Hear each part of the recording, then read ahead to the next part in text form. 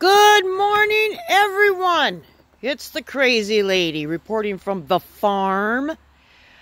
Well, we had a lot of wind yesterday and some more snow. Shock. Today's going to be the nicest day, guys, because then the winds are going to pick up again. The temperature's going to start dropping, so more blowing snow tomorrow. Oh. And the weekend we got snow showers. But our temps will be dropping, you know, below zero. And the roads are pretty icy in some places yet.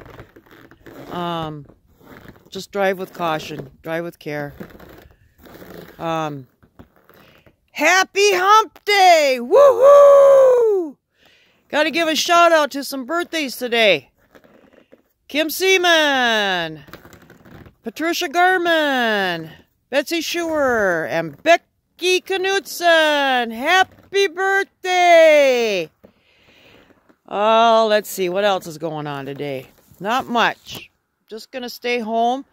I was gonna go to Little Falls for a funeral, but just too far in one day for me to go up there and back. And with not knowing how the roads are completely, I know Renville had, uh, by Olivia, they had a lot of trucks, semis jackknife and in a ditch and everything yesterday, last night. Got to give them crews time to get the roads cleared off. And uh, otherwise, my um, LP tank's almost gone. So I just posted a new picture of it on Facebook. Kind of funny. Otherwise, stay warm.